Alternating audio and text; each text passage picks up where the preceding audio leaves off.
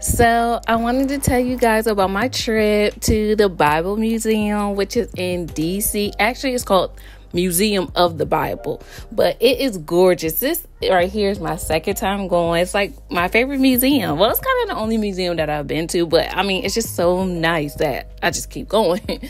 so, as you can see, that was me walking in. This is just like an overview of the different floors and the different levels. Just how gorgeous this place is. It's so state of the art uh so so clean precise bright vibrant.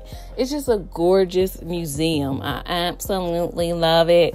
But as you can see here this is the map of all the places you know um where jesus walked the earth and where you know bible artifacts were found. I can't remember what floor this was on but yeah so yeah, the history of the Bible. Now, this is actually in the elevator. Did you see how like it had an actual screen inside? Beautiful.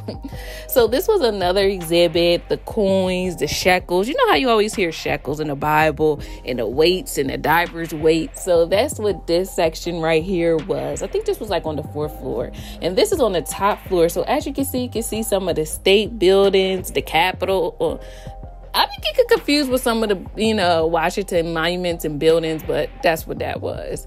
And this was another interesting um, exhibit. It was kind of like the redemptive, redemption kind of exhibit where people that, um, you know, may have uh, did a crime, they actually turn their heart back to God. And the people that the crime was against, how they use the Bible and the Word of God to actually forgive the person that was like hurting them. And here are some other statues. You know, there go my boy George Washington Carver. You know, he was a believer. He loved the Lord. He talked about how God gave him ideas, you know, all the adventures he made with a peanut. And here's some other African American exhibits, parts from the Bible, and how, um, you know, the Jubilee singers and all that use the word of God. And this was also like the Martin Luther King exhibit. Um, in the Bible Museum. I feel like this was on like on the second floor, but I always really, really like coming to this part of the museum. Cause look how gorgeous this stuff is. Look, look, look, look at that. Look at that. It's just like wow. It was a time where, you know, Martin Luther King was talking about being free. And then I really like this part because it also has like Mahalia Jackson singing. And you know, like she was a big voice, like singing voice during that time for the freedom of black people and the coming together of all. But this is also another section of the Bible Museum that I liked. Um, basically, how the Bible is incorporated throughout life and how people that from like different countries, how they use the Bible, how like happy and excited they are about actually having the Bible. That's um like one culture singing a psalm in their native language. Just beautiful. Jerusalem. As a mountain surrounds Jerusalem, so the Lord surrounds his people. See, that's what Jerusalem looked like. I mean, I just think it's just was so amazing. Like all the stories that you hear in the Bible is always it was like a section in this museum that kind of brought it to life so you can actually see it for real in live time. It's just a beautiful, gorgeous museum like I said, very clean. It's scriptures everywhere. It's a bunch of history. You will absolutely not be bored here at all. like it's so much to see. You literally can stay on one floor. It's like five, so five or six floors, but you can literally stay on one floor for hours. You you will not see everything in one trip. So this was another part of my favorite rooms. It was called the illumination room where they're showing how they're um, working on getting a translation of the Bible in every language. And for the most part, it's getting filled. I was very surprised to see that. You know, like I think the blue is where they haven't gotten started yet, but it's coming together pretty soon. So that's what this room was. And I just wanted to show y'all that so I could see what it looks like on your end. But yes, and and this was just people from different cultures across the world reading the Bible in their native language. Isn't that so beautiful? So that's what that is. And this was like a little state of the art interactive kind of quiz, um, asking about the volumes of the Bible, which you would find in the illumination room. Oh, see, I got that wrong.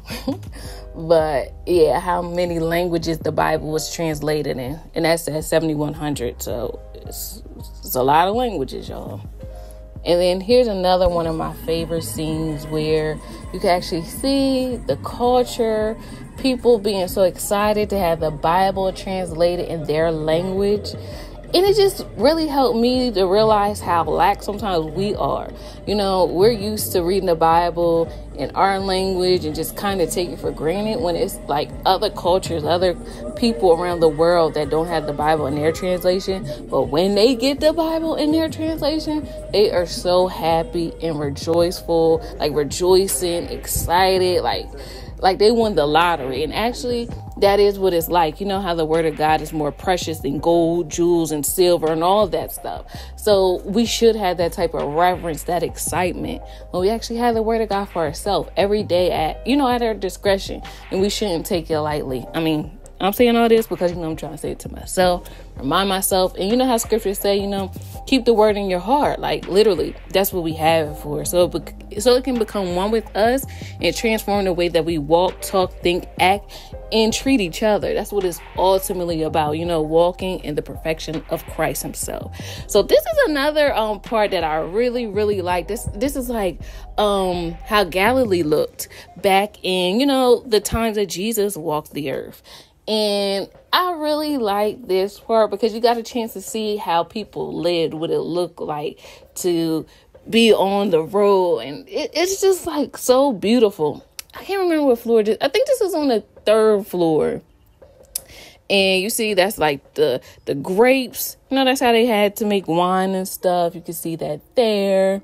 And I think when it first opened, I think they actually had like live birds and stuff, but you know, it's been here for a few years, so it doesn't have everything that it was like in the beginning, but it's still very informative. You will learn a lot looking at how people lived during that times. As you can see, the uh, the water, preserving water, uh, the diets, what people ate, how they cooked um the bread. And you know a lot of times they they say the word bread in the bible a lot. And that's just me in the bathroom. I had to show y'all because even the bathroom was nice. It was super clean super nice and that's me in front of um another like interactive exhibit where you it's like a you get to see the new testament in movie form. So that's just like the outside part. And that's me eating my zatar fries. So that was basically it. Oh yeah because upstairs they actually have a um, restaurant so you can eat there too. So that was my trip to the bible museum. I really hope you guys enjoyed my little vlog of the experience but also if you have not been to dc to the museum of the bible you need to go. This is your sign to go. This is your sign to go. You didn't come across this video for nothing, okay? This is your sign to go. I had actually been three times. I mean, one time after, you know, this video, so you will not regret it. It's just really, really beautiful, really amazing. It's a nice place to bring like your grandmama and stuff like that. And it's also, of course, a nice place to bring um little kids. It's just very good for the family. And I didn't even you didn't even see half of it. This is just like 3% of everything that they have there. But other than that, I really hope you enjoy my little brief vlog, and I'll talk to you guys again soon. Bye.